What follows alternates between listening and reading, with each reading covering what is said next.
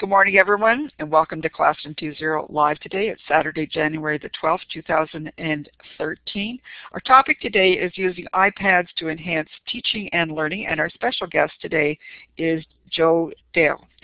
For those of you who are new, or just a reminder to some of you who have been with us for a while, that we have a terrific resource that's called the Live Binder, and today is Joe Dale's. and Peggy's been telling a few people in the chat that this is one of the best resources you're ever going to find for working with iPads, but also to help you help you work through Joe's presentation. He has a great deal to share with us today so that not to worry about writing anything down. You can go back to the live binder to pick up anything that you've missed during the show.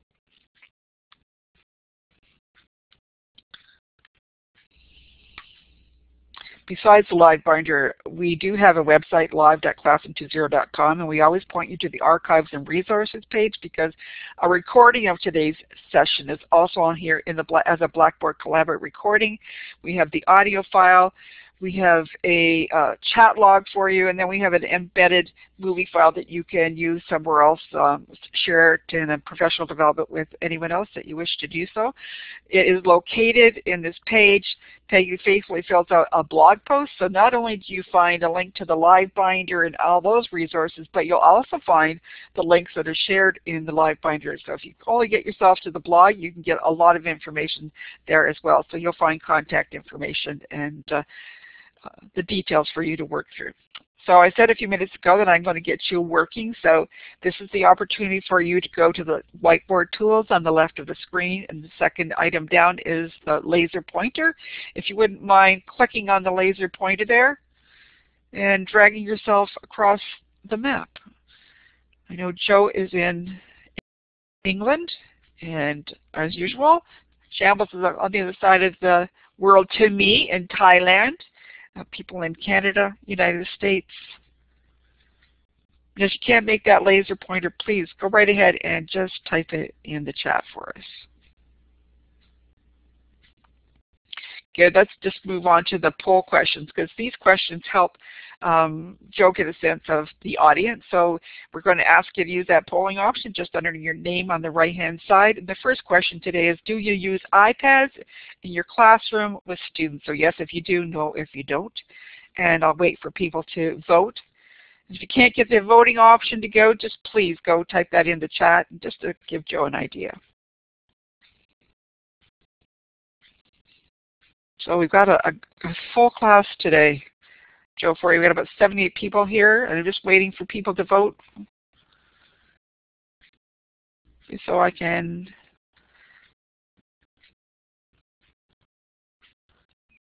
I'm going to stop and publish results for, no I'm not.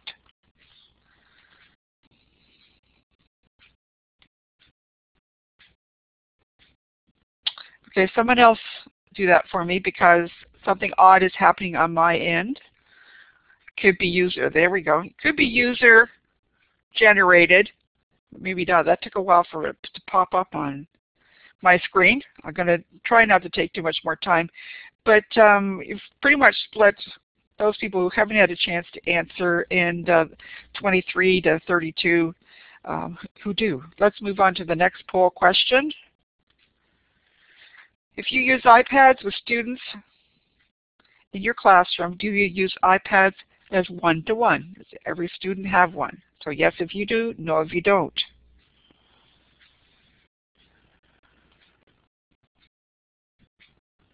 Just waiting for people to vote. If you just entered the session, the voting options are just below your name on the right-hand side. If you see the check mark, click on it you get the drop-down menu to make your yes or no response. So far I've only got about 30 people voting. Okay, let's see what they had to say.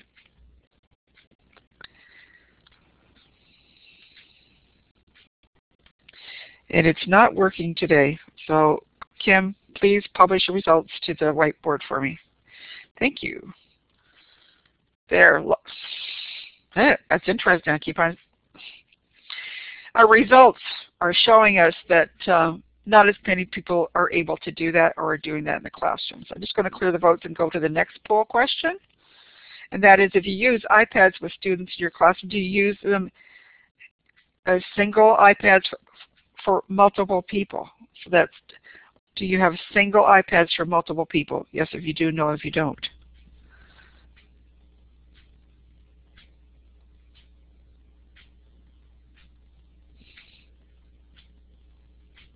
So I'm seeing a little slowness here for the votes as well.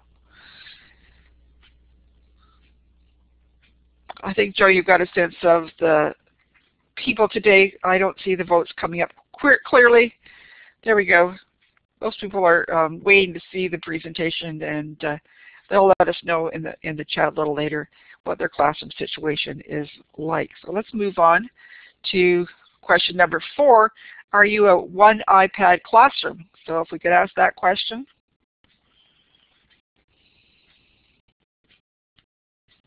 Yes, if you do, no, if you don't. Give some more answers for that.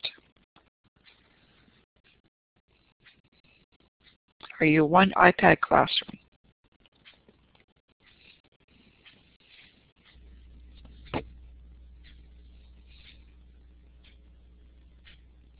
Do you want to publish the votes now? We have a fair number here who voted. So most people are not. Only a few people have the luxury of uh, using the iPad. Sorry. I'm sorry, I can't move the whiteboard. Slides I'm good on. So let's get started on the session because I'm wasting valuable airtime. Joe, please forgive me for that kind of an odd um, review of the poll questions for you. But this is, uh, again, our opportunity to welcome you today to our session.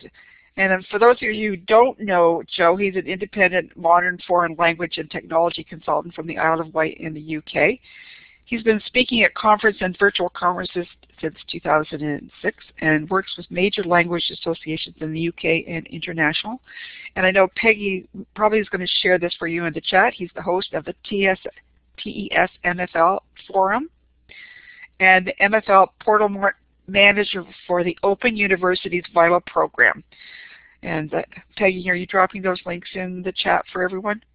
Joe will be sharing his most recent research on iPads and his experience and knowledge about using iPads to enhance teaching and learning. And as I said to you a few minutes ago, please don't worry about the content that's going on here today, that you'll get the live binder and the blog post to help you through because I'm going to now turn the session over to Joe and ask him if he wouldn't mind helping us out with a newbie question, which is what does research tell us about the effective use of iPads and mobile devices for teaching and learning? So welcome, Joe. I'd like you to take the microphone, and you're welcome to right after that answer to your question take over in the presentation. So thanks very much.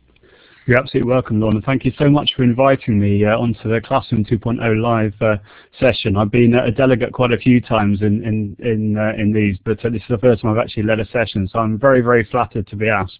Uh, and obviously today we're looking at iPads. Um, just to uh, sort of give you a little bit of background, I, I taught for 13 years uh, teaching French, so my background is uh, modern foreign languages, uh, but the presentation today I've made sure that uh, it is um, generic across, across the curriculum. So there will be a couple of examples of how iPads are being used in languages, but basically most of the presentation um, will be applicable um, at primary, secondary, across the curriculum.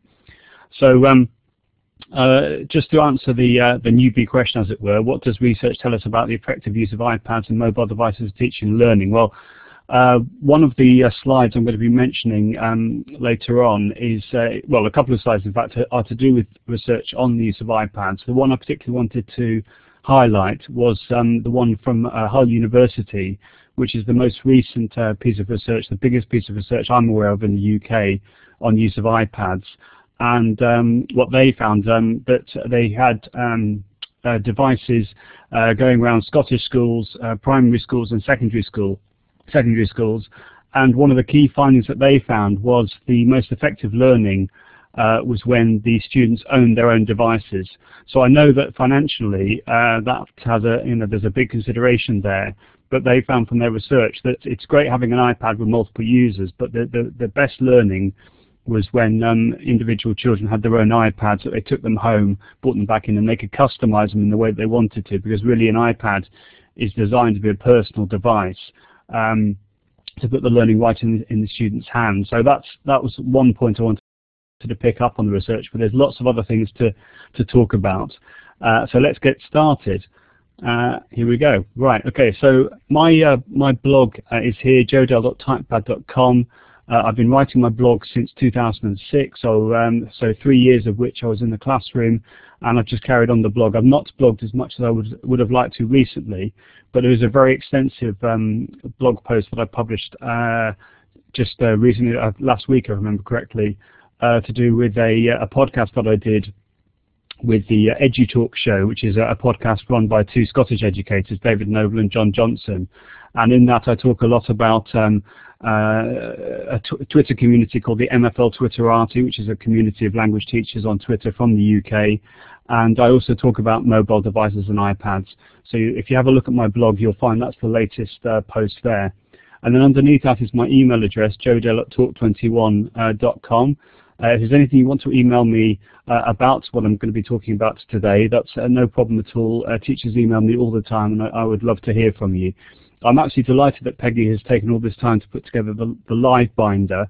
Uh, and uh, as has been said already by Lorna, you don't have to take any notes at all if you don't want to. It's, it's, all in the live binder, and if you get stuck with anything, then just email me or send me a tweet at at Joe Dale. So just Joe Dale at Joe Dale for Twitter. Okay, we've got lots of things to get through. We've got about 50 slides. It's about one slide per minute. Here we go. Okay, so we know that uh, young people's uh, habits are changing.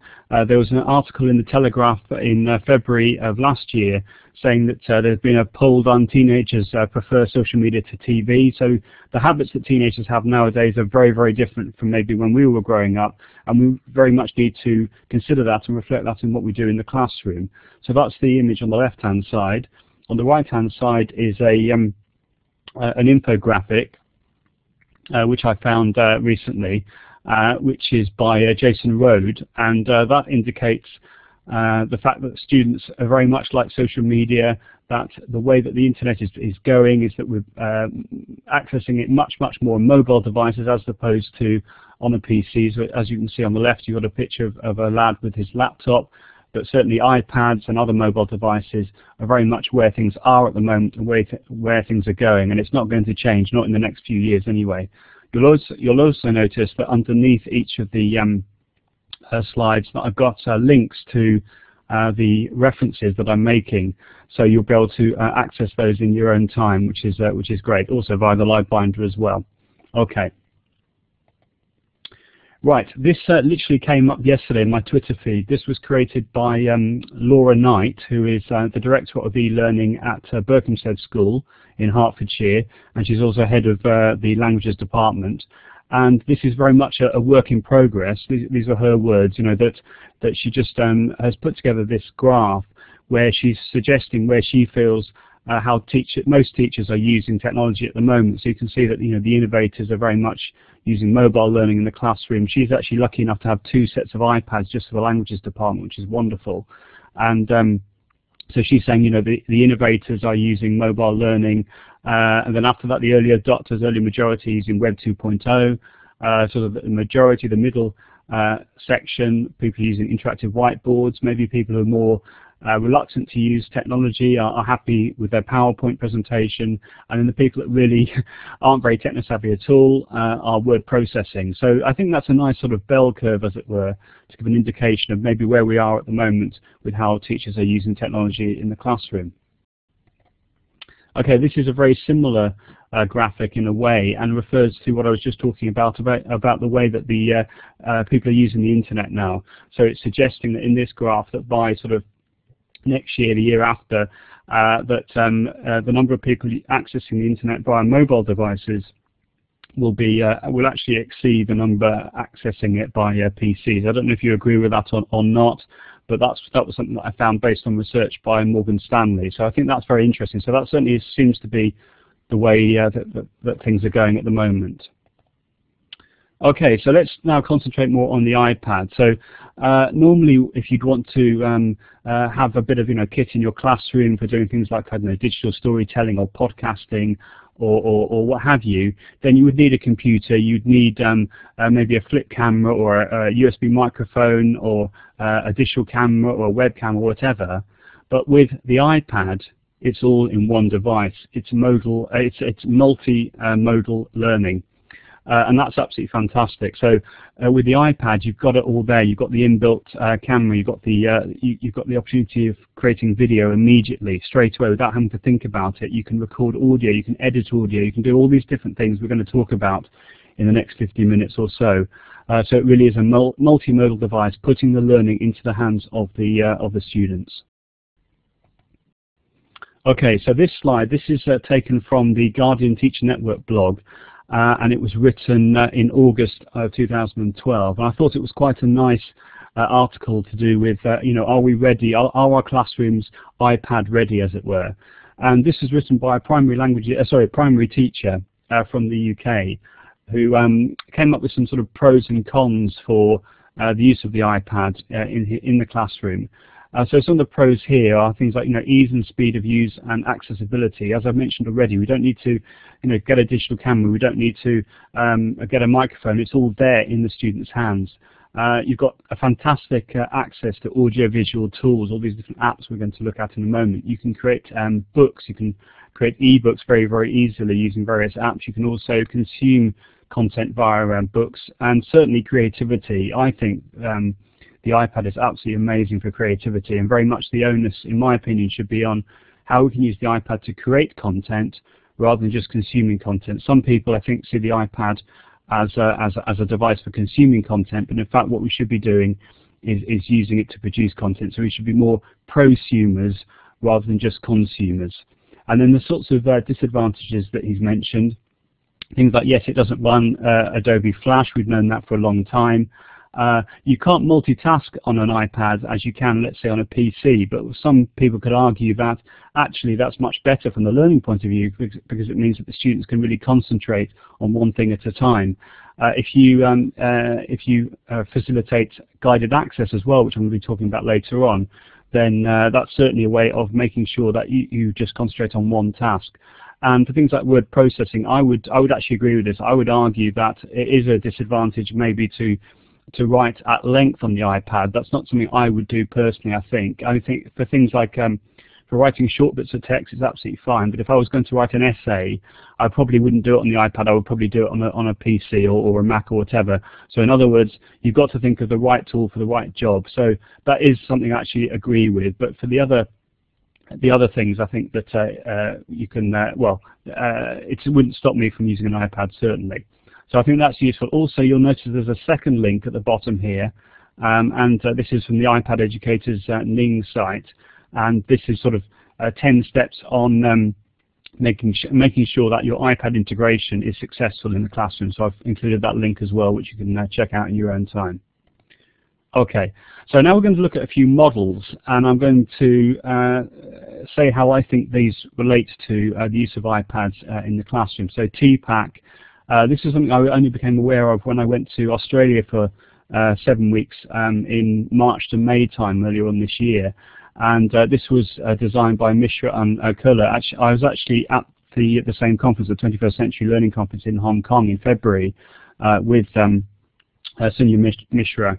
Uh, so I was, I was, lucky enough to hear him speak. But uh, one of uh, the, the key bits of research that he's done in the last few years is this TPACK model, the idea that uh, the best learning in the classroom happens when you have this um, uh, synergy between uh, technology, pedagogy, and content knowledge. And so that sweet spot right in the middle uh, is where you get this sort of, you know, this TPACK model uh, being the most effective. And then the, the dotted line, the circle around um, the uh, the diagram is supposed supposed to represent context.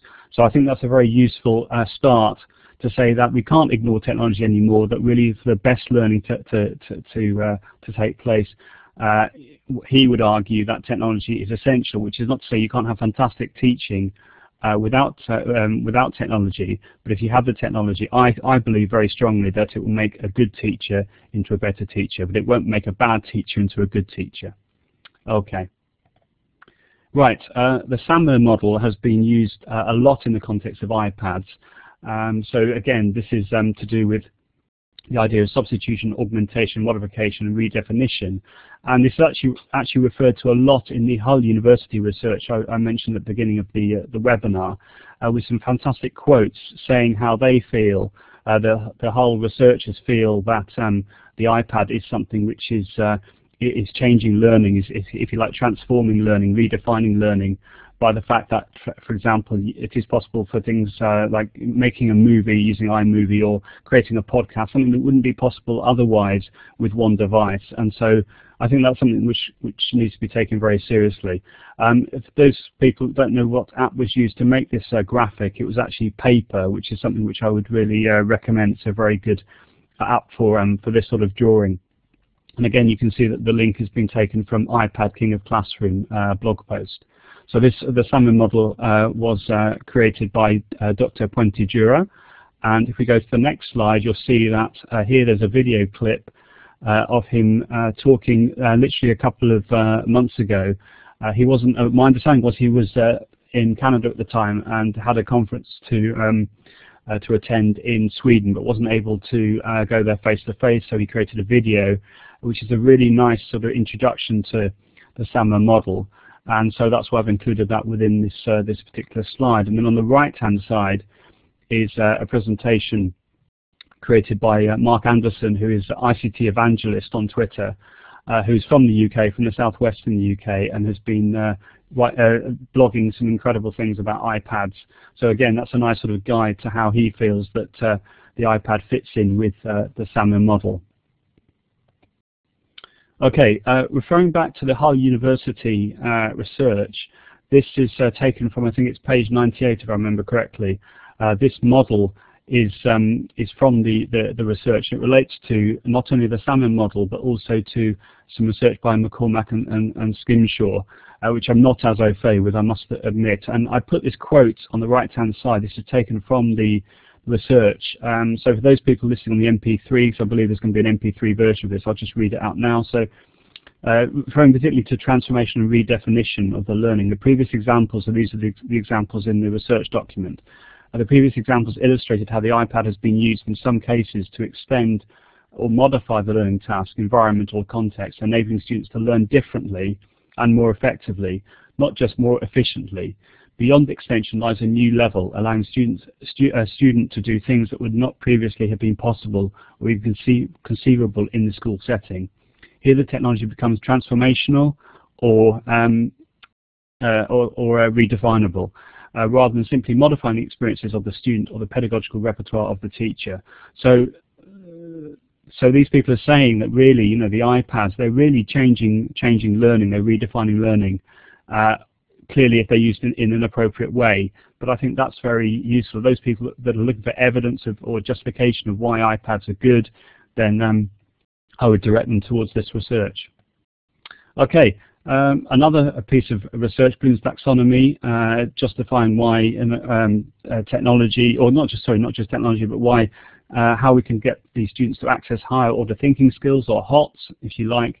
Uh, there's been quite a lot of research about this in relation to iPads. There's a really nice ebook um, uh, which is to do with uh, HOTS or HOT apps for for the iPad. But this one is this this graphic has been taken from the Silvia Tolisano blog uh, globallyconnectedlearning.com, which if you don't uh, know about Silvia or Langwitches on, on Twitter, she's been doing some incredible stuff to do with iPads uh, in the last few years, and I'd really recommend you checking out the stuff she's doing. Uh, it also mentions at the bottom here that this has been adapted from uh, Kathy Schrock's uh, Blooming iPad graphic, which I'll be showing you in the, in the next slide. But essentially the idea of this is to show how some apps uh, she feels relates to the certain levels of um, Bloom's taxonomy. And right at the top there is the creating one, which is something which I personally would, would really recommend that you uh, that you try and do with the iPads, that you use the iPad to create content rather than just consuming content. So those are some apps there which uh, which will help you to uh, get your students to access uh, access higher order thinking skills. Okay, so carrying on on the same theme, On the right-hand side here, this is a, a, really nice graphic, I think, by uh, Kathy Schrock, where again the levels of uh, Bloom's taxonomy are made absolutely, absolutely explicit, but also very nicely is around the cogs are uh, examples of how you can uh, use certain technologies such as storytelling, podcasting, videocasting, or what have you, to uh, to enable your students to access these higher order thinking skills. And then on the left-hand side is an image which also relates to Bloom's taxonomy, which was taken from uh, the website iPad in Schools. And this is a blog post about uh, students creating their own apps to enhance their learning as well. And that might be something that that some people are doing in their uh, uh, in the classroom right now, I don't know, but that's something you can imagine would be very engaging for the students. I don't know how easy it would be to, to go through, you know, the, the Apple iTunes registration process, but certainly the idea of creating apps for um, for the iPad is is something which I'm sure would be very motivational. Okay, this is a quote taken from uh, Kelda Richards, who is um, lead practitioner for Media Rich Learning at ISCA College uh, of Media Arts. She's also uh, head of languages in the school as well. And uh, again, for the benefit of the MP3 player, I'll just read this out. So the introduction of iPads has engaged and infused staff and learners. Whether teachers have access to one or 30 iPads, so I, I can appreciate from the poll we had earlier that um, quite a few people have got just the one iPad in the classroom. Some people are lucky enough to have access to a set of iPads. Uh, they can make uh, learning multidimensional, enabling students to move uh, from effective research to improving their presentation skills and most important of all, creating. With apps that cover every area of Bloom's taxonomy, iPads are helping to develop workplace skills. So that's a fantastic quote, I think, which reinforces um, the idea that iPads can allow students to access uh, higher order thinking skills at the top of Bloom's taxonomy. okay, here are some more um, apps which relate to this time to Gardner's Multiple Intelligences, which I took from the iPadders.eu. And uh, again, you can, uh, if you don't know some of these apps, you can check them out. And uh, if you're looking for, if you like justification, well, I'm just going to have a little bit of water. Sorry. Uh, that's better. Right. Okay. So, if you're looking for, you know, justification of why um, uh, iPads are, are, good for, to enhance learning, then you could, uh, if you, you could uh, direct people towards this slide or, or, this research, where apps are related to in this example, Gardner's multiple intelligences. So that's another another good starting point, I think. Okay, so uh, moving back to uh, the practice in the classroom. Um, this is an article, ICT as, a Catalyst for Change in Pedagogy, which was written by Laura Knight uh, on the right-hand side there, and uh, Mark Steed. They both work at Berkhamsted School. Uh, Mark is the head teacher there, the principal, and uh, Laura is the director of e-learning and the head of languages. And um, in this article, she talks about the idea that um, she feels that the iPad or mobile devices uh, is really uh, seeing now a change in pedagogy, and we need to obviously be up to date with that. Uh, that change in pedagogy, and she talks about the Martini generation, you know, the anytime, anyplace, anywhere generation, and that's how uh, young people of today, as I referred to earlier, you know, they expect to learn in that way, and we need to be up to up to speed uh, as uh, as teachers, as as trainers on on this. Uh, so that we can uh, best meet their needs. On the right-hand side there, there's a, a YouTube clip of um, Laura uh, giving a presentation at the ISC IT conference, where she talks for about 20 minutes on how she's been using iPads uh, in languages in that context, and uh, and what the students have got out of it, and how thrilled she's been by their uh, their, reception, their, their receptive um, use and their productive use of the iPads. And the picture just below that, that was a training session I, I did at Berkhamsted School in January of last year, so about a year ago, on, on uh, some ideas on the use of iPads, which was uh, well received. Okay. Right, this is the, um, uh, the link to the evaluation study I've, I've talked about a few times now.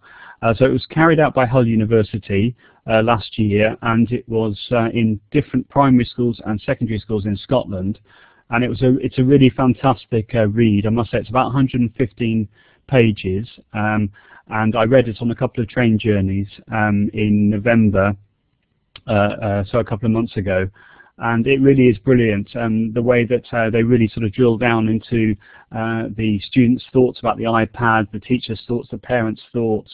And it's well worth a, a read. I think it's it's the most comprehensive study so far I'm aware of, certainly in the UK, and it, it, it, highlights some very interesting features about the use of iPads in real context in real schools. But the most important thing, in a way, which is something they highlight a lot, is they found that the, uh, one, of the, one of the findings that was the most significant was the fact that the students learnt the best when, it, when they own their own device, which is something we need to think about for the future, I think. Okay, uh, prior to the uh, Scottish research, uh, uh, there was the Longfield Academy iPad uh, case study, which was carried out by Naace, which is a, a national organisation to do with computing uh, in the UK. And this was a case study looking at um, the, the, Longfield Academy on how they were using iPads. And again, very, very interesting research. Uh, I'm just going to carry on and, and direct you to the sorts of findings that, that were found. Obviously, you can read this in your own time, but um, Merlin John, who is a, a well-known educational consultant and, uh, and journalist, um, wrote a, post about the, uh, the Longfield research saying that it found you know, significant and positive impact on the use of iPads. So the 54-page report also is, is, well worth having a look at just to see how they got on with, with iPads and, um, and go from there. Uh, the last slide uh, on, on, Longfield Academy research I thought it was particularly interesting.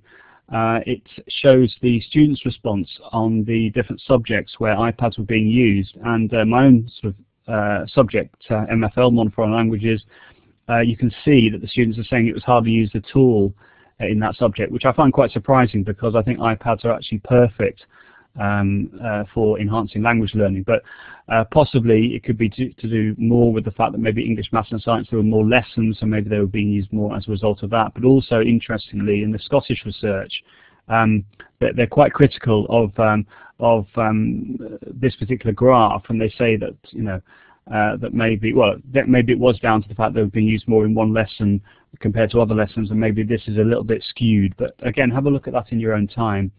Um, but again, an interesting graphic. It might be interesting in your own schools for you to do the same thing. Just see, get, get a get a, a straw poll idea on uh, uh, which subjects were using the iPads the most. Okay, so in this slide, uh, this is a, a post uh, uh, written uh, last year, if I remember correctly, saying, you know, 12 characteristics of, of, of your um, classroom if it's ready for iPads.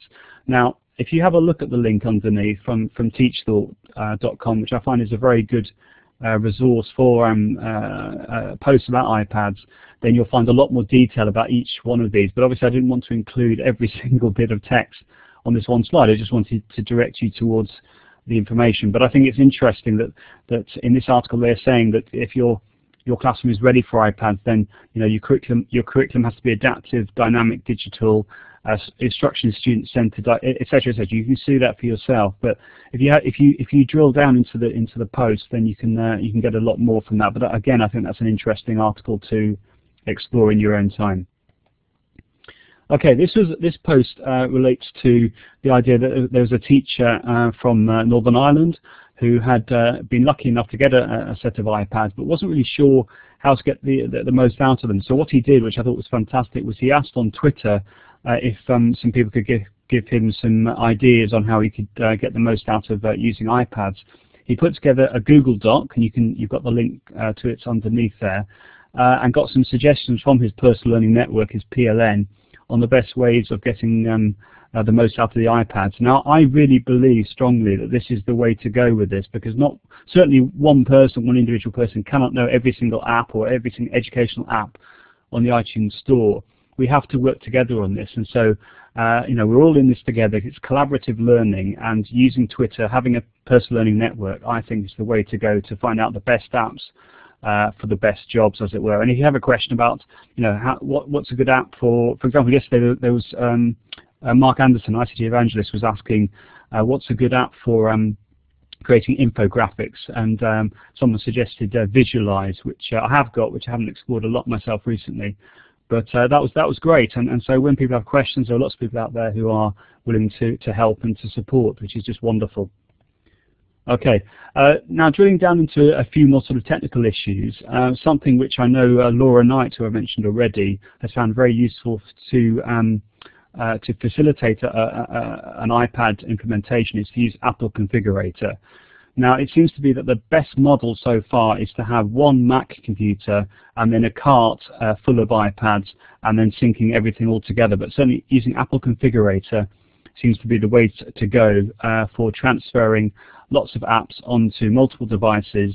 And uh, in a moment I'm going to show you the um, uh, the slide for the volume purchase program, which has finally now come to other countries, not just the US, so Australia, the UK, etc. And so now there isn't a grey area, gray area about um, getting the correct uh, app license for individual apps. And just to make it clear, if people aren't aware, if you have a personal device and you get a, you download an app, you can have it on five uh, personal devices, an iPad, an iPhone, an iPod Touch, and what have you. But in a school environment, it has to be one app per device. So the volume purchase program has absolutely clarified that and, and made that clear. And then, uh, so there's a couple of guides here, which I've given you a link uh, there for. Now I've made it, I've mentioned guided access uh, as well on the right hand side here. This is uh, a new feature which has come in in iOS 6 and uh, what it allows you to do is it allows you to lock down uh, one individual app, let's say that you've got on your iPad or, or, on your iPhone or iPod Touch, but particularly looking at iPads today uh, which means that the, the students can't um, leave that app and then go and look at something else. So uh, it means that they, you know they can't be distracted. They have to focus on that one task on that one app, which um, which is a good thing in lots of ways. But then you could argue that for uh, for workflow, in other words, um, working on a number of different apps to uh, produce a certain outcome, then that could be a hindrance. But anyway, the the idea of guided access is uh, to lock down a certain app, so that's all you will you, all you will access, and also uh, my understanding is that you're actually able to screen off certain areas of the uh, of the app, uh, which means you can't have access to those areas as well within the one app or the one screen. So that's something else. Uh, by all means, you know, have a look at. Uh, guided access is is a new feature in iOS 6, which uh, in the classroom context has lots of possibilities. Also, maybe if you had your own iPad and you had guided access on there, you could be more comfortable about giving it out to the class so they could all have a look at it, as it were, or do a task on it and knowing that they wouldn't be able to, you know, leave that app that they were looking at and then go and have a look at your emails or whatever it might be. Okay. Right, so this is the volume purchase program. So you've got the link um, underneath there if you want to check that out, and that's a very, very welcome, I think, uh, for schools who uh, who weren't exactly sure about, you know, the as I said, the grey area about um, the number of uh, or getting getting the right to, you know license for the number of apps that they had on the, on multiple devices. Okay, this is a really interesting slide. I think this is from Eastbourne Academy uh, in the south uh, east of England, and um, uh, they've actually been lucky enough to get iPads for all the year seven, year eight, and year nine students. So that's 11, uh, year, 11 12 year olds, 12, 13 year olds, and 13 to 14 year olds have an iPad at this school, at this academy um, which is absolutely wonderful. I actually did a, a, half a day's training there with the languages department recently, and um, this uh, slide indicates uh, some some rules that they put together, or I rules, on the best use of iPads um, according to you know I must, I accept, and it, and it goes on and on and on this PDF guide. And I think that's really useful. I think the idea of, of establishing rules with classes on how you know to use the iPads uh, is something which is a very, very valuable thing to do, which is why I've put that slide there, so you can download that and, and check check that out and replicate it in your own uh, in your own context. Okay. Now, what about uh, looking for apps? Now, I've mentioned this um, already uh, in relation to you know asking your personal learning network, but I'd also suggest that using Twitter for searching for um, hashtags such as um, EdApp, EdApps, iOS EdApps. I know that the iOS EdApps was um, was sort of created by Tony Vincent, uh, who gets um, unsurprisingly mentioned once or twice in, later on in the presentation. Uh, Slide to Learn, uh, and then the iPad Ed.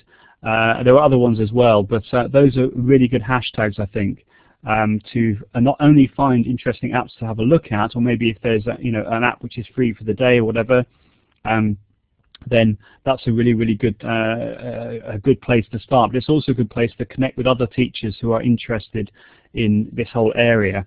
Um, for example, I noticed that I think it's today Doodlecast Pro, which is a screencasting app, is free for today. So if you haven't got that on your iPad, I'd really encourage you to have a look at that Doodlecast Pro. Uh, is very cool. And on the right-hand side, uh, you've got tools and apps. So LiveBinder, we already know about LiveBinder. Uh, that's what uh, Peggy has used to put um, all the links together all in one, one place. Uh, Scoopit or Scoop.it is also very useful for um, uh, for uh, curating links. Um, they're, they're, I always think about there's sort of three Johns who are really good at um, uh, putting Scoopits for iPads. One is um, John Pierce from Australia, John um, Samuelson, or iPad Sammy, and John Evans. So the three Johns, definitely check those out. Uh, they've got some fantastic Scoopit iPad uh, curated um, uh, uh, created examples of, uh, of, of bringing all these different links to do with iPads all together.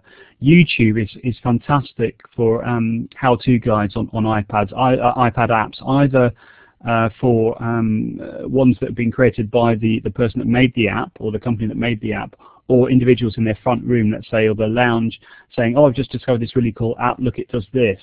Um, also, actually, in general, sort of iPad tips and tricks, there's some fantastic YouTube clips there as well. And then finally, uh, Tweetbot, which if you don't know is a Twitter client uh, for the iPad and the iPod, iPod Touch iPhone. I find that a really, really useful Twitter client. It's not free, but it's well worth well worth the money. And there you can favorite things very easily.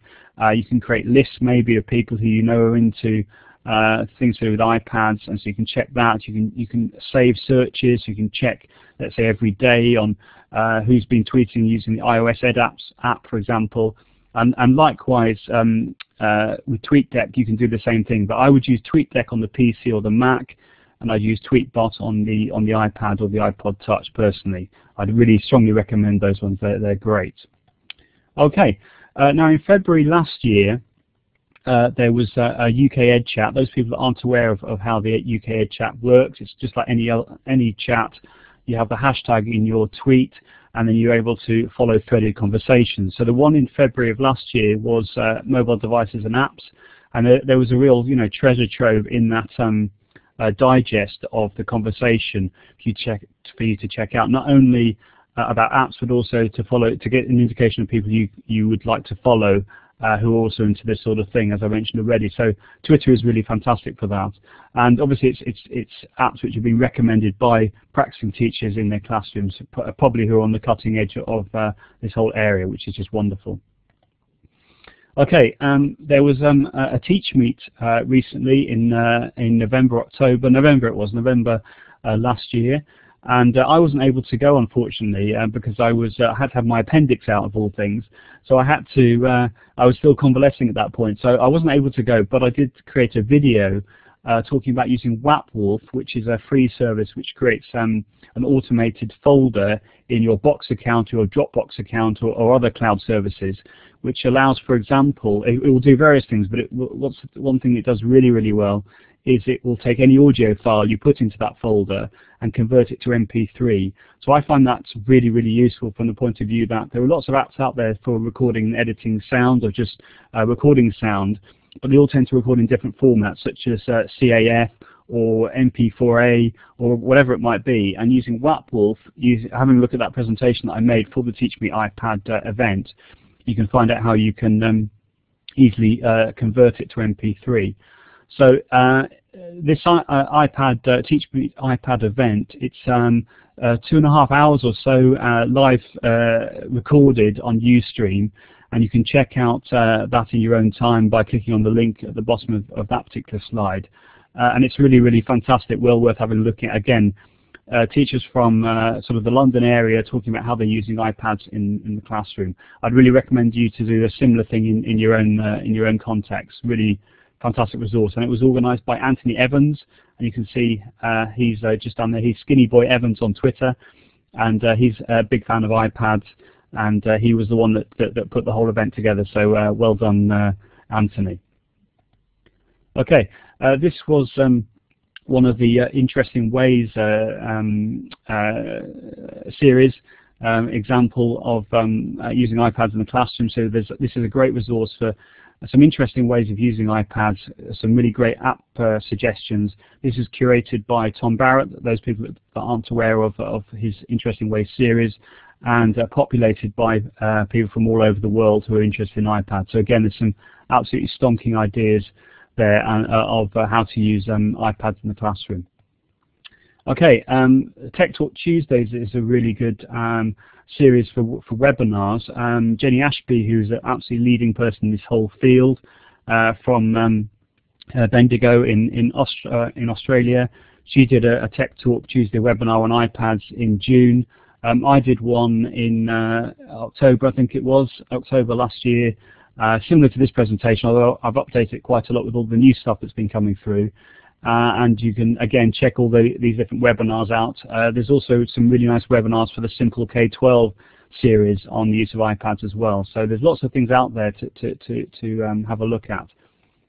Okay, uh, for those people who maybe don't uh, know, know where to start, who maybe newbies that have just got an iPad, then if you have a look at this link, it will take you to um, a, a, a, huge uh, resource suggesting different apps for different curriculum areas, so that can be a good place to start. I, have not certainly not checked out all these apps. I'm not recommending any of them, but there are some that I know that, that, that are really good. So if you're not really sure where to start, that could be a good starting point to have a look at. Okay, now these are some of my personal favorites, some killer apps. Uh, for those people that aren't aware of all of these, I'll just go, go through them very quickly. So we've got Pages here, which is a bit like uh, Word, as it were. We've got Keynote, a bit like PowerPoint. Uh, iMovie, which is brilliant um, for accessing that re redefinition um, level of the SAMR model. Uh, I can animate, uh, animation, brilliant on the iPad, absolutely fantastic. You don't have to bother with any other kit. You've got it all there on the one device. This is called My Story uh, Bookmaker for Kids. Brilliant um, uh, app for creating ebooks with personalized uh, hand-drawn drawings from the students, or they can insert digital uh, digital video as well, and they and they can record a voiceover as well over the top. Uh, you've then got Book Creator, which is again an awesome um, book uh, app for creating ebooks. Um, and you can do similar things to the My Book app, but you can also, uh, My Story app, sorry, but you can also add video as well. You've then got Comic Life, great for making cartoons. There are lots of apps out there for making comics. There's also Strip Designer as well, but Comic Life is probably my favorite one. Um, now here you've got the, um, can you, sorry, can you actually see the pointer? Oh, sorry, if I click on this one, ah, can you see the pointer now? Can you see the pointer now? Ah, brilliant, okay. Uh, okay, so this one now is explain everything. Uh, there are lots of screencasting apps out there. This is probably the best one. It's not free, but it's certainly worth uh, having a look at, and it's got lots and lots of different export um, functions. Uh, the one here, this is um, called Recorder HD Plus. Uh, there are some free apps out there like Hokusai, H-O-K-U-S-A-I, Hokusai, for recording and editing sound. It's this, uh, that's the most similar app to Audacity that I found but I actually prefer this one to be honest uh, because of the fact that um, with Recorder HD Plus uh, the editing is just lovely. It just works in a really smooth way. It's also very stable as well, whereas sometimes I find Hokusai is not particularly stable. Uh, and you have to uh, keep pressing uh, My Documents, which is the save uh, function, and uh, that's that's fine. Hopefully you can still see the the pointer, maybe not. Um, okay, uh, the one to the, the right of that is called, and uh, it's got a very strange name, it's called I Said What, uh, which is um, a, very cheap app which allows you to not only record audio and edit it, but it also gives you the function of adding a, um, a transcript. So you can write a transcript or paste the transcript in and then record your audio, which is really, really nice. The one to the right of that is one which I came across literally in the last week or so, and I just think it's awesome. It's called um, uh, Boss Jock uh, Studio and allows you to make a podcast instantly uh, with embedded sound effects and other other features and then export it as MP3. Uh, and if you subscribe to BooMail, which is the um, email export export uh, tool for um, AudioBoo, you can then send it straight to AudioBoo using that email attachment function.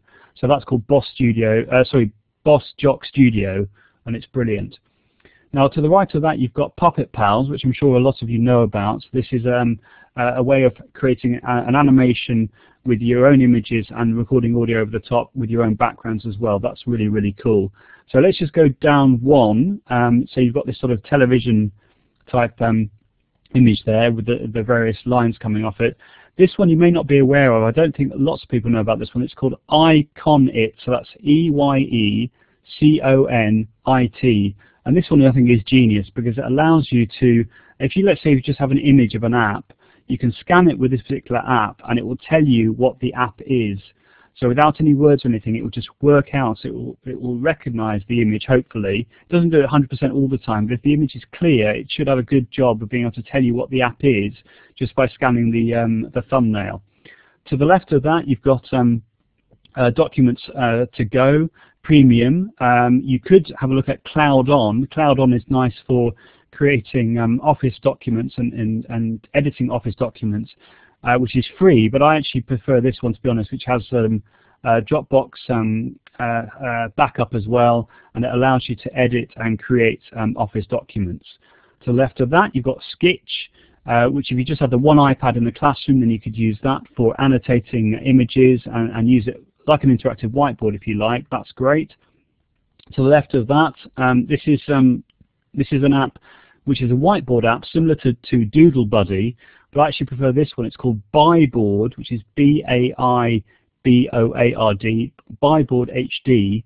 And not only can you collaborate with other people as you can with Doodle Buddy, you can also um, mirror what's on your iPad um, onto any browser as well on your on your PC, on your on your Mac, whatever. And so that's a really really nice one. You can do things like text chat as well, or even do uh, a voice chat using that app. So and it's free, which is just great. Uh, to the left of that, you've got Posterous, so a, a blogging a blogging app. Uh, great way of getting content off the iPad and onto the World Wide Web. I know that Posterous maybe is going to be shutting down. We don't actually know that yet, but um, it's not looking good for Posterous. But at the moment, it's certainly a, a killer app for the iPad. Uh, to the left of that, you've got PhotoCard. If you want to create uh, a, an e-card on the iPad and embed audio with that and then send it as an email attachment to your, to your teacher. That's brilliant. You can also send it to Posterous and it will embed automatically with its image and then with uh, an embedded um, audio file underneath. Really, really nice tool. Um, underneath that one is called iFiles. Uh, and this is probably my favorite app for file management. It's absolutely brilliant from the point of view of being able to get stuff onto the iPad, off the iPad, uh, um, between apps, it's just it just gets me out of so many diff difficulties. It's just wonderful. If there's any app that you should have on your iPad, it's iFiles for file management. Um, to the to the right of that one, this one's called Droplr, which is D-R-O-P-L-R, which you may not be aware of. Droplr, uh, and that's a really great um, app, and it's also a desktop tool as well. What it allows you to do, it allows you to upload to your Droplr account. I think you can have one gig for free and it copies automatically the, uh, the, the, uh, the, URL uh, on your Droplr account to the clipboard so it's wonderful for creating QR codes.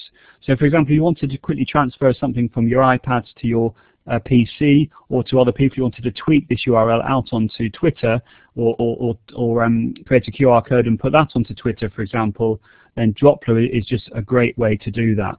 Uh, to the right of that is, is Dropbox, which I'm sure we're all aware of. Um, I don't really need to say a lot about that, I'm sure. If you've got an iPad, it's an essential app. To the right of that one is Socrative, which is a free classroom voting uh, tool.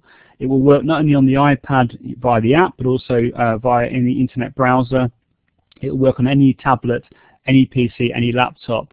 Uh, absolutely fantastic, and it's free, so well worth having a look at. To the right of that one is called iNigma and that's a really nice app for uh, reading QR codes. It's it's the app which is uh, does it the quickest in my opinion, and it's just wonderful. It's called iNigma. It works on iPads, iOS, and also on Android as well.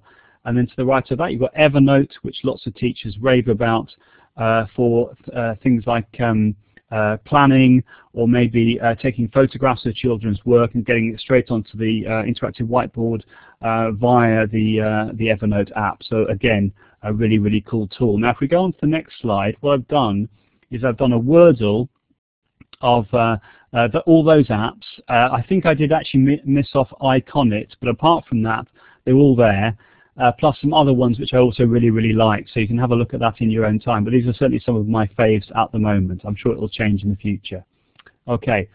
Um, now, uh, Chris Smith, a Shambles Guru, I believe still in the room, um, this is a brilliant, brilliant, and he's not paying me to say this, I'm just saying this because I really like it. Uh, this is a brilliant uh, book, ebook, all about um, cool apps to use in the classroom. It's called An Educator's iPad. Uh, I read it on uh, when I was in Australia on various um, plane journeys, recommended uh, it to lots of people, and uh, I would you know, encourage you to do the same. It's a really brilliant. uh, starting point, well not just a starting point, but something to explore. Lots of different apps there um, by Shambles Guru uh, uh, that you can use on the iPad. So uh, an absolute find. I know that um, Wes Fryer's um, playing with digital media is also uh, supposed to be very, very good as well. I haven't had a chance to actually look at that myself, but I believe that's also very, very good as well, which is no surprise as we all know how amazing Wes is. And I believe he's just in the room, so I'm very, very flattered. Anyway, let's carry on.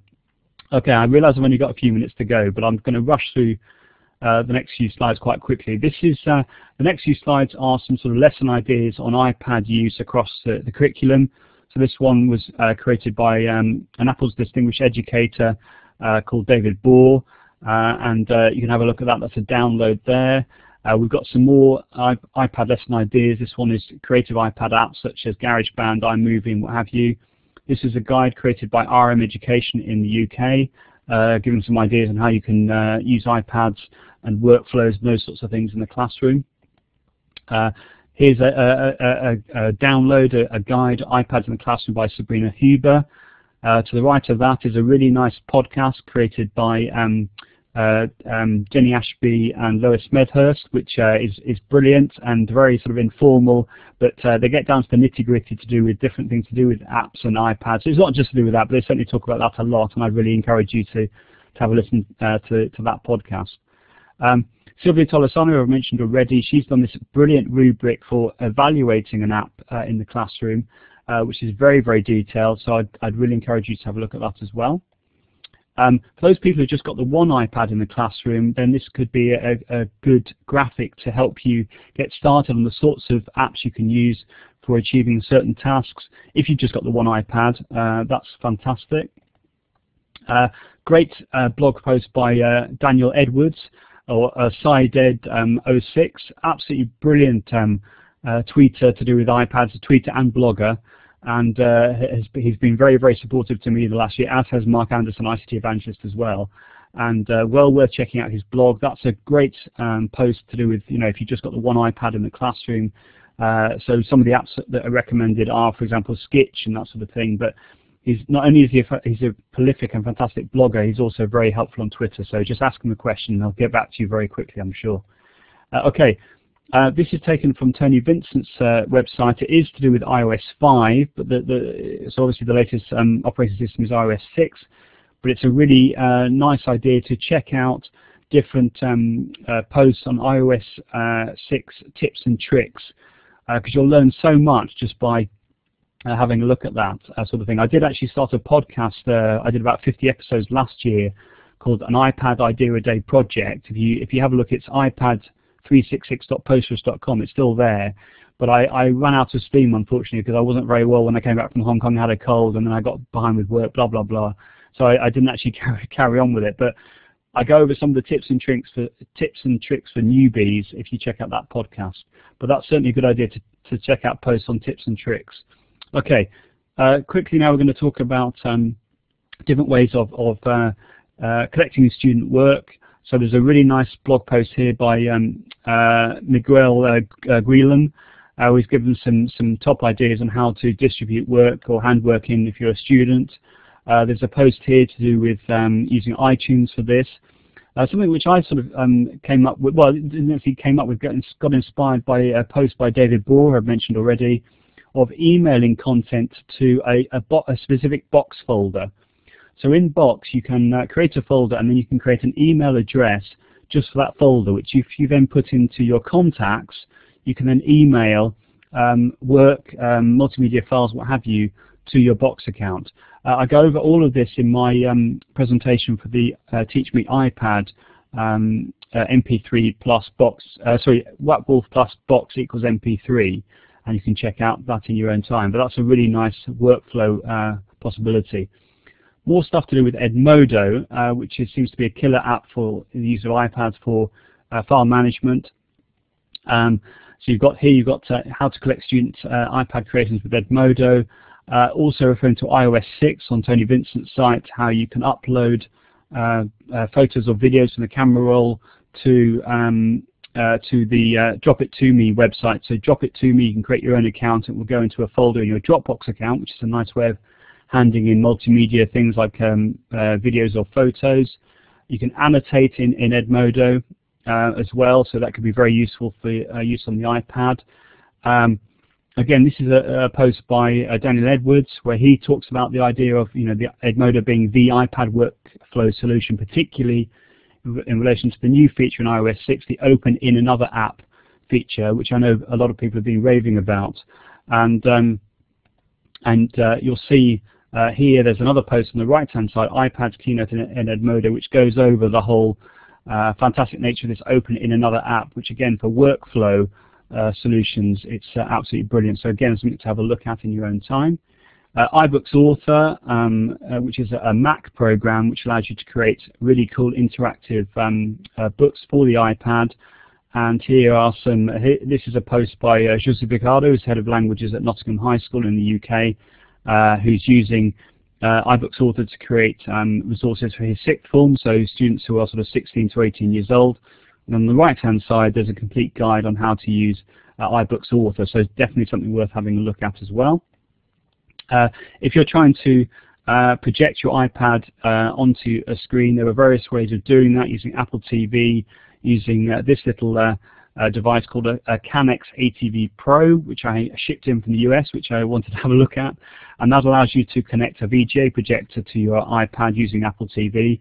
You can go for the, um, the wired VGA adapter solution, but on the right-hand side, Tony Vincent again has put together this really useful table uh, going over the different options. Also the software option of using Air Server or Reflector, uh, previous, previously known as Reflection, uh, another you know a great way of mirroring what you've got on your iPad via AirPlay onto the screen. So you, you can have a hardware solution or a software solution.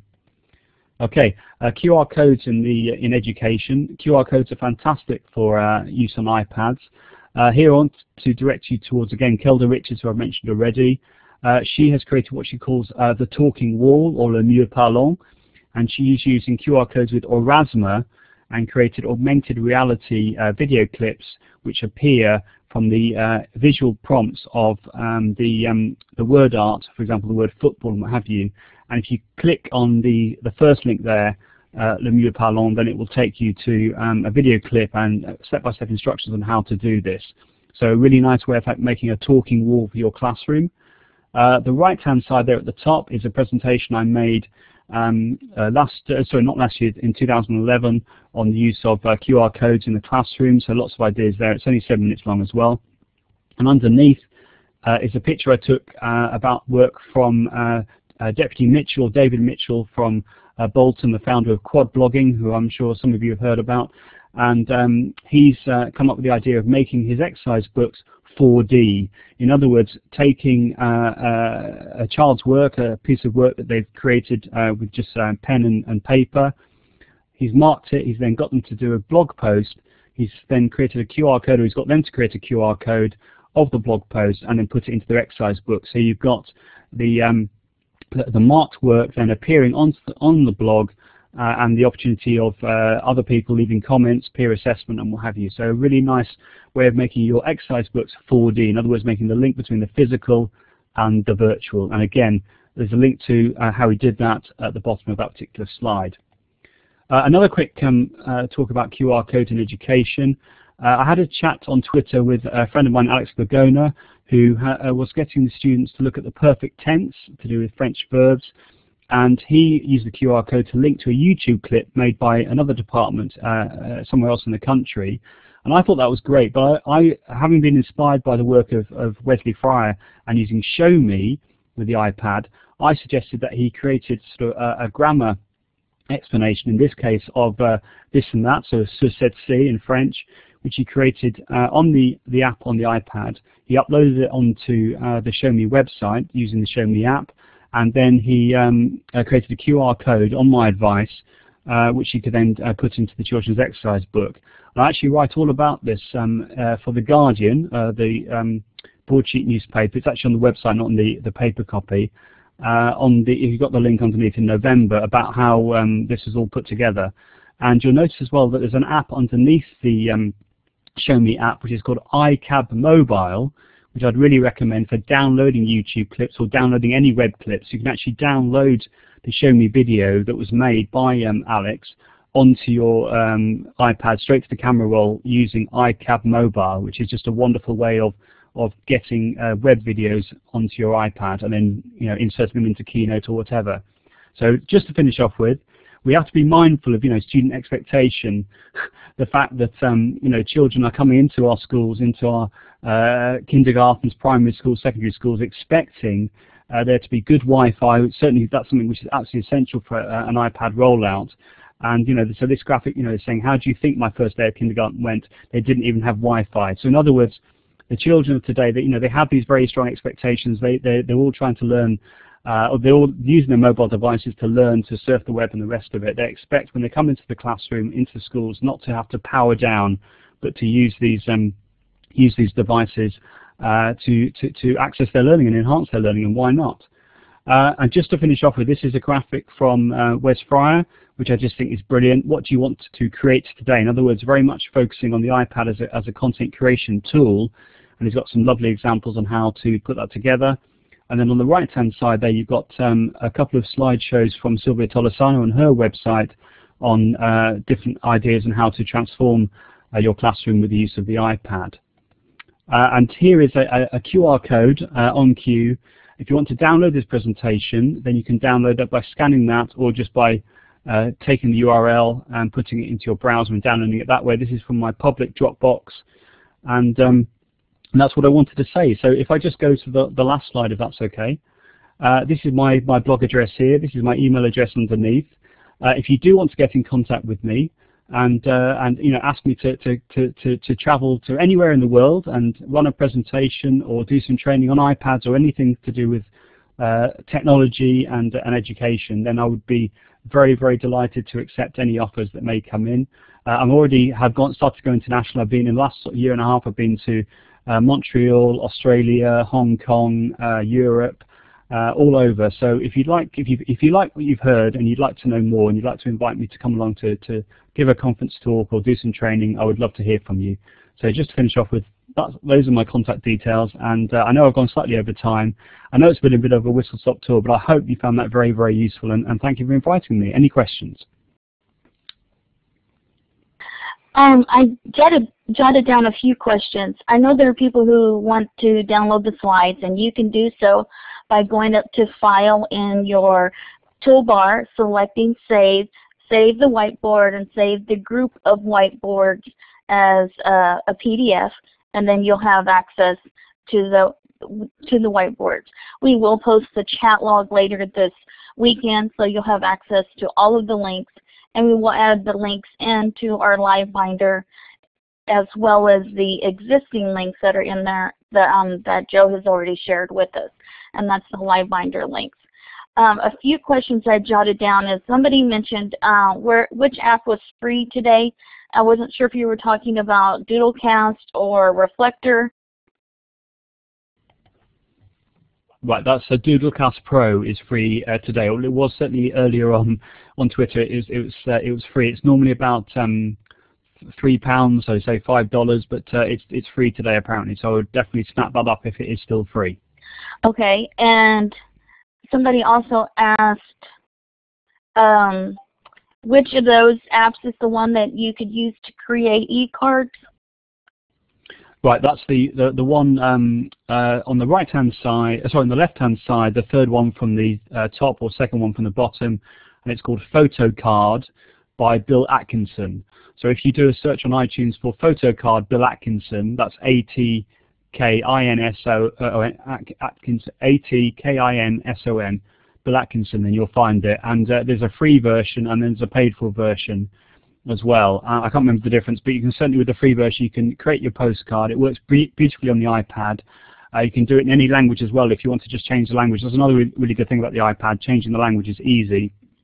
And you can also add what's called an audio note as well, which means that you can combine uh, speaking with writing, uh, which is just great. Okay, and I know that there are some more questions, but I'm going to go ahead and close out our session, uh, we want to be mindful of your time, and I know that there was a lot shared. So be sure to uh, make sure that you check out the LiveBinder link and that you click on that and you copy that down um, before you leave. You can click on the link directly in the chat right now, and it will open in your browser. That is a live link, uh, those in the chat, and as well as um, in the chat log that we will have posted on our archives page, and I'll talk about that shortly. And we want to let you know um, that if you want to stick around afterwards, we'll take some more questions. But on January the 17th, Steve Hargadon will be interviewing Holly Epstein Ojalvo and Esther on student journalism. He'll be talking with Gary Obermeyer on January 29th. And on the 31st, Stephen, I'm not even going to attempt these names. I totally apologize if I'm destroying them. So um, those are some great uh, interviews that Steve Hargadon is going to have coming up. They're all at 5 p.m. Pacific or 8 p.m. Eastern um, on those specific days. And you can find that on futureofeducation.com um, for his schedule. We want to let you know next week we're going to have a very wonderful session by Heidi um, talking about the way she uses technology. On the 26th, there, um, we will not have a show so that you can attend EduCon or um, I believe the dentist having PsyCon, some things that are going on online, and we don't want to interfere or take time away from those. So it goes. So be sure to check out EduCon um, by Chad Lehmann up in uh, Philly. It's fantastic, great sessions and conversations. We will have Alex Dunn talking more about iPads, but in a university in part of the universal design for learning and the uh, that learning theory. Um, another perspective on using iPads on February the 2nd, and we'll have Matt Hardy and his teachers talking about KidBlog on February the 9th. If you'd like to nominate a colleague or, or yourself that works with students and teachers for to be one of our featured teacher sessions, the form is, the survey link is or the form link is in the live binders. And you can also give us feedback on today's session by filling out the survey and the survey will automatically open once you exit today's session. You can also request a professional development certificate for today or any of the archives that you view using that survey link, and that's in the LiveBinder link as well. Just put your name and email address, and Peggy will get that out to you. She takes care of that each week for us. We want to let you know we also have an iTunes U channel that you can subscribe to to get the MP3s and the MP4s of each of our sessions. You can also subscribe via an RSS feed to the blog post where we post all of the resources and recording links as well and get the information that way if you happen to miss a session or you want to review a session like today's session. I'm sure the recording uh, link count will be very high. And we want to extend a very special thanks to Joe for a great presentation today and to Steve Hargadon as well as to Weebly for our website and to each of you who have joined in today's session and conversation. We want to thank you so much. And we'll take uh, some more questions and if you would um, like to stay around, we would appreciate that. If you have to go, we understand that as well. We do have uh, Joe's information um, so that you can contact him if something comes up that um, you weren't able to stick around or the session didn't answer. And again, this is the live binder link. Um, make sure you get a copy of that as well. If you'd like to take the mic, we can uh, allow you to do that. Uh, we understand if you need to go. Uh, one of the other questions, um, oh no, those were all the questions that I found today. Uh, Lori, did you get down any questions that I might have missed or that were not answered during the session? Yes, I did, Kim. Uh, let me go look at my page again. Mm. Are you using the term iPad to refer to all tablets, or is the iPad something special among tablets? Um, no, when I'm talking about iPads, I'm talking about obviously specifically the iPad. Um, I mean, the iPad. One could say that um, because 90% of the tablet market is the iPad, that it really is the iPad market, and uh, everything else is uh, really just trying to catch up in lots of ways. I'm, I'm, I don't work for Apple or, or anything like that. I, that's just my own independent view.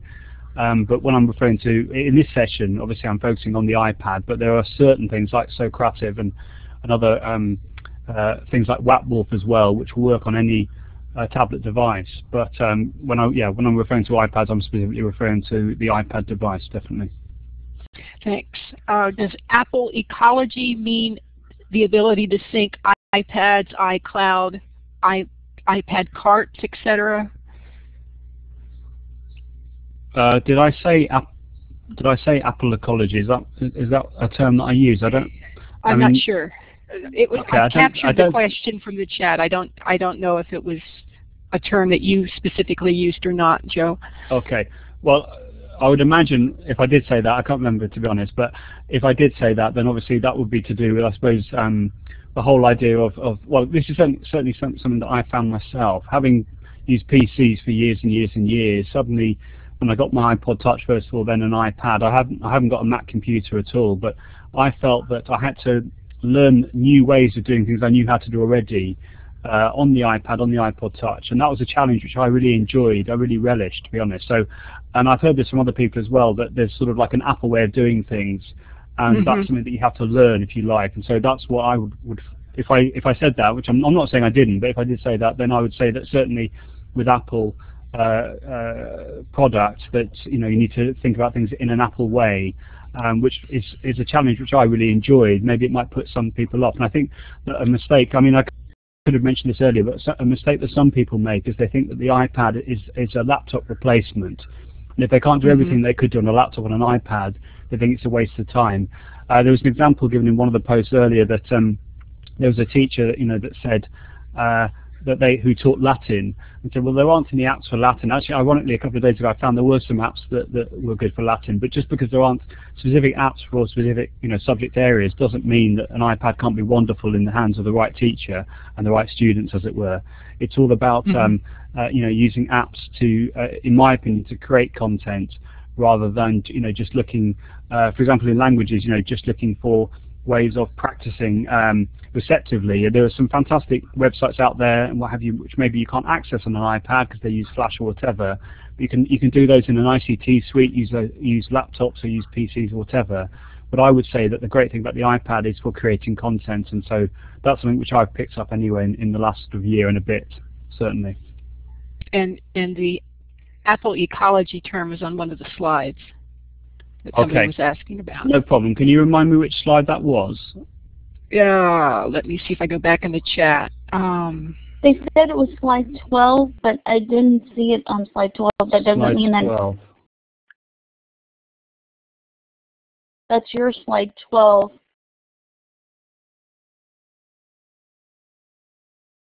Twelve Okay, um, seems to be ready for iPads. Oh,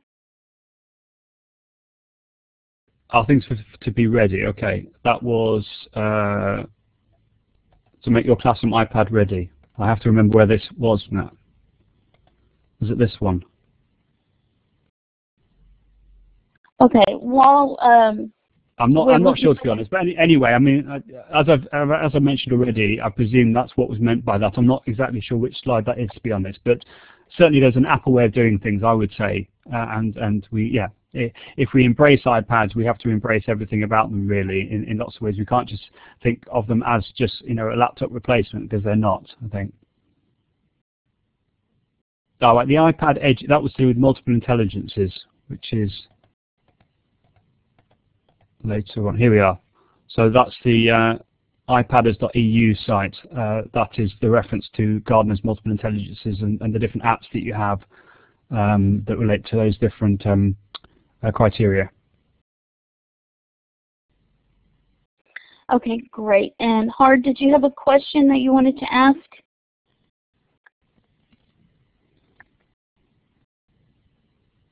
Um, I gave you the mic, but it, yeah, I didn't. Okay.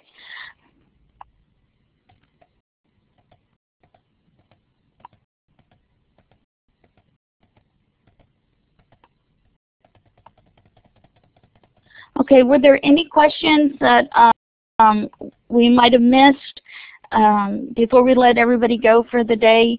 If so, if you could uh, type it in the chat or if you'd like to use your mic, we can give you the uh, ability to use your mic. Just click on the hand, raise your hand, and then we will do so.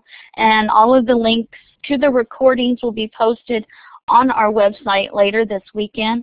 Um, that link is also in the live binders, and I'm also going to go ahead and post it in the chat for you as well. Uh, grants, I would check out grantwrangler.com. They have great information on writing grants, getting uh, grants that are coming up, due dates, and so forth. And um, Joe, what are some of your favorite apps for uh, audio recording? Uh, yeah, um, just before I answer, just before I answer that, um, I found the correct slide. Um, oh, oh, okay. I apologize. That's okay. Um, which that's okay. Don't worry. Um, which was uh, in, here we are.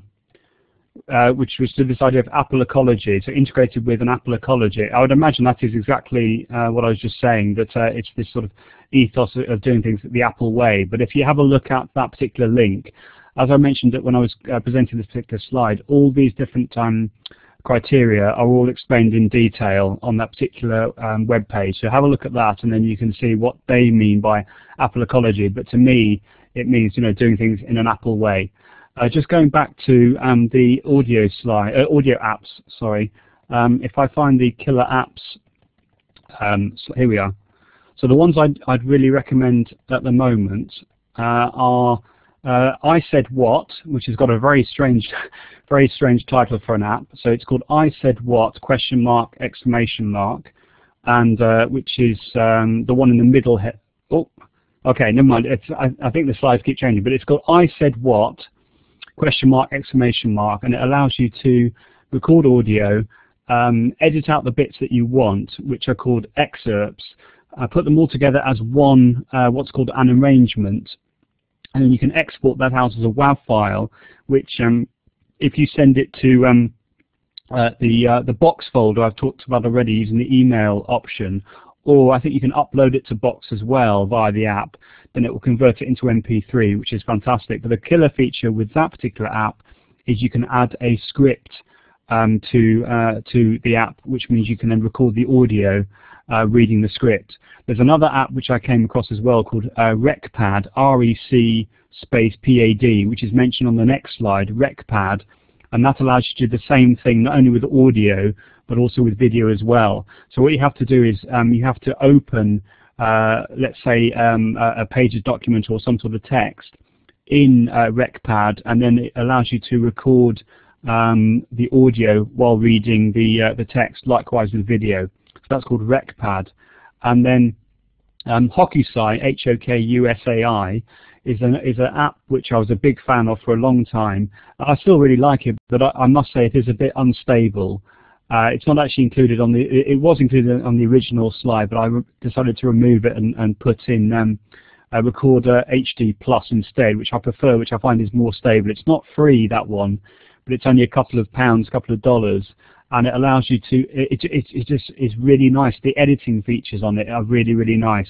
And then once you've finished it, you can then open it up in something else, uh, such as the, the, the Boss Jock um, Studio app, which I mentioned already. Uh, uh, I know I'm particularly uh, sort of talking to Wes as it were at the moment. So Wes, I'd really encourage you, if you haven't heard about that, have a look at uh, Boss Jock Studio fantastic for making instant podcasting or or going on um, uh, uh, an Apple Distinguished Educator said recently, going on small learning journeys, which I think again, which is what the iPad is all about, going on small learning journeys, and that sort of app really helps you to do that. So, and you can add jingles and what have you from, um, you can import them from Dropbox, put your jingles in, and uh, put together a whole show with uh, what are called carts. So you just click the cart, and that will then play your sound effect or whatever. So I think for for creating a, a, an instant podcast is is great. And the other nice thing about it is if you've got a, a bedding track, in other words, a track that plays all the time that you're speaking, it ducks automatically when you start to speak when you hit the um, uh, the, the, voice uh, record button, as it were, uh, similar to in, uh, how it works in GarageBand on the on the Mac. But that's a really killer feature. I don't know of another app that allows you to do that. So it's it's not cheap. It's um, seven pounds in England, so that's probably about ten dollars or something but it's really and fantastic. which one was that, Joe? That's um, it's called Boss Jock Studio. So B O S S J O C K uh, Studio, and they were um, uh, they were um, uh, exhibiting uh, in the last couple of days in the New Media uh, Expo uh, in the States. And um, yeah, I just think I just think that's a really interesting app, definitely. Great, thank you. Ten bucks. That's what I figured about. Yeah. Awesome. Any this other questions? So fantastic. um, I don't think there have been any new questions coming in, so we'll go ahead and close out the session. Um, and of course, when you uh, review the session and if you have questions for Joe, you can contact him on Twitter or at his blog. Um, there will be a recording of the session posted on our website, and that website is in the live binders. All of our information and where we post everything is listed there as well. So we want to thank you everybody for joining us today and sharing your links and apps and ideas in the chat. Be sure to join us next week when we have Heidi uh, Siwek, I believe it's pronounced, Siwek, um, talking about the way she uses technology in the classroom for our featured teacher session um, for January. So be sure to join us at the same time next week and then we will be off on the 26th. So have a great Saturday and a great weekend, everybody. Hope to see you online and see you next week. Take care, everybody. And I just wanted to finish off by saying thanks ever so much uh, to the Live Classroom 2.0 for inviting me on. I'm very, very flattered, and it's fantastic to actually lead a session rather than just uh, be a delegate. Uh, so thanks again. I'm, I'm really delighted. Thank you.